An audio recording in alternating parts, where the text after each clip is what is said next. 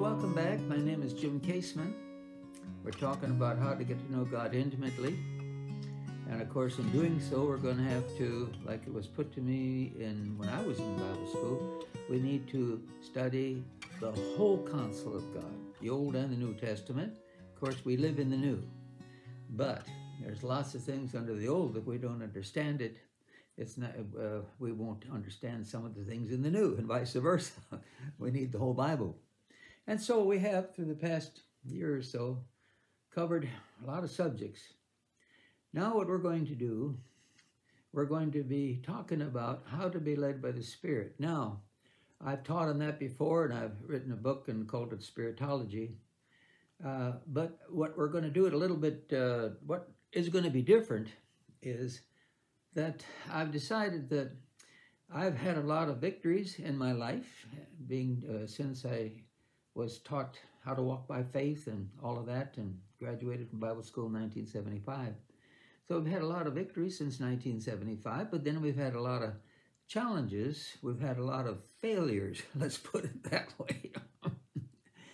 and so I decided that even in the book that I wrote on spiritology, I used some illustrations of, of, of different things of how to be led by the Spirit.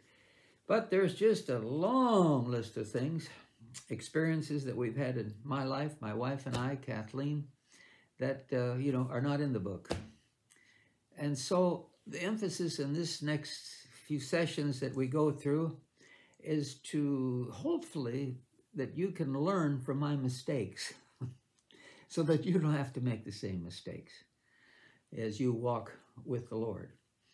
And so that's going to be kind of the focus. But for the first few sessions, obviously we're going to have to do a little bit of a review and lay a foundation so that we're all on the same page spiritually.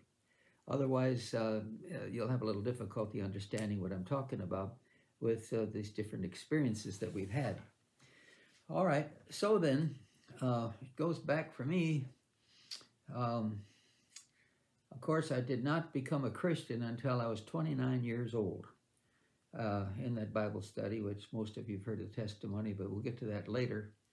And so for the first 29 years of my life, I was controlled by my flesh, which I didn't understand then. I didn't know any, I didn't know the difference between the human spirit and the physical body. You know, when I look at 1 Thessalonians chapter 5 and verse 23, now may the God of peace himself sanctify you completely and make your whole spirit, soul, and body blameless. So you and I are, really a three-part being. I am a spirit. What you see and what I see when I look at you, I see your physical body, but that's not you. According to the scriptures, I am a human spirit and I'm just simply clothed with flesh. I come back here to Job chapter 10 and verse 11. And well, I'll do 10, 10 and 11.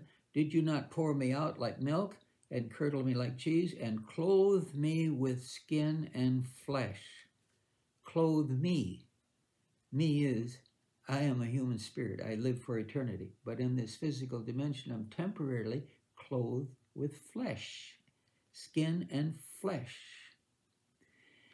And, uh, and so I have to have a physical body in order to live in this physical world. And then also in Romans chapter 8 and in verse 14, for as many as are led by the Spirit of God, these are the sons of God. So we need to be sure that we're led by the Holy Spirit if we're sons of God.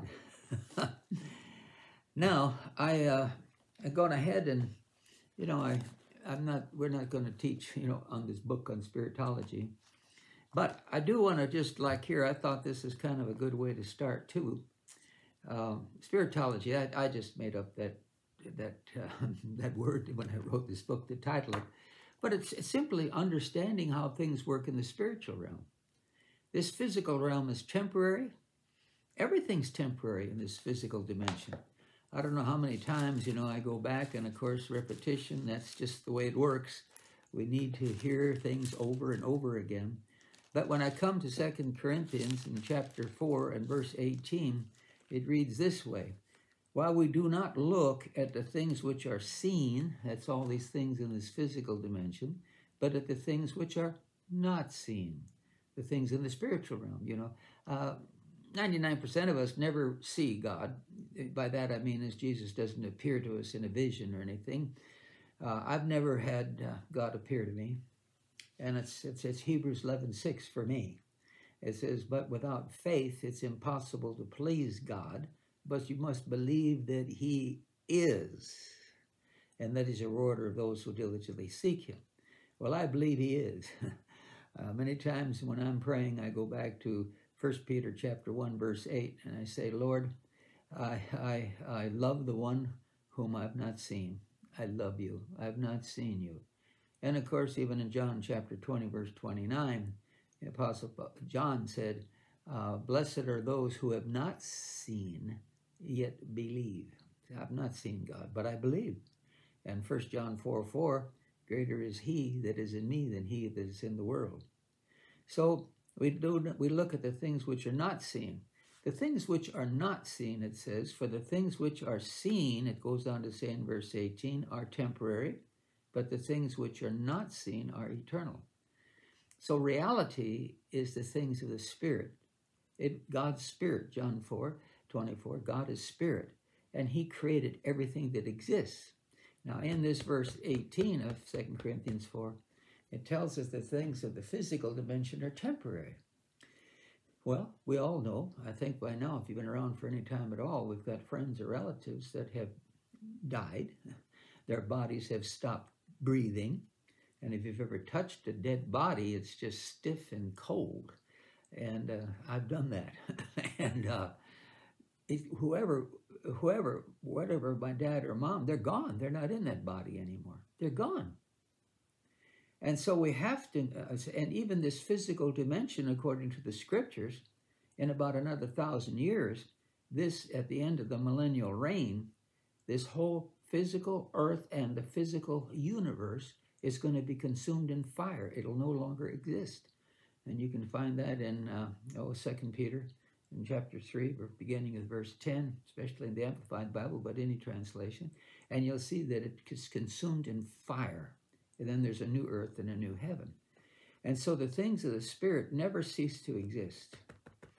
Even as human spirits, we never cease to exist. You and I will never cease to exist. Our bodies will die, our physical bodies, but we will live for eternity, either in hell or in heaven.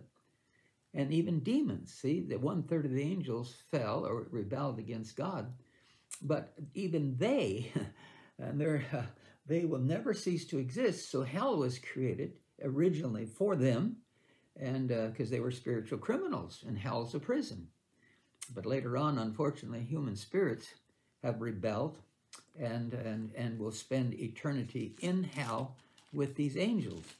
You know, I've often go back here, you know, there's some verses that just make an impact on you, and, and you just, uh, you just never forget them. I come back here and to Matthew chapter 7, and I look at verse 13, and Jesus is speaking. And, I'm, and he said it, I didn't. He said, Enter by the narrow gate, for wide is the gate and broad is the way that leads to destruction. That's hell. And there are many, many who go in by it, because narrow is the gate and difficult is the way which leads to life or heaven. And there are few who find it. Now that's the tragedy.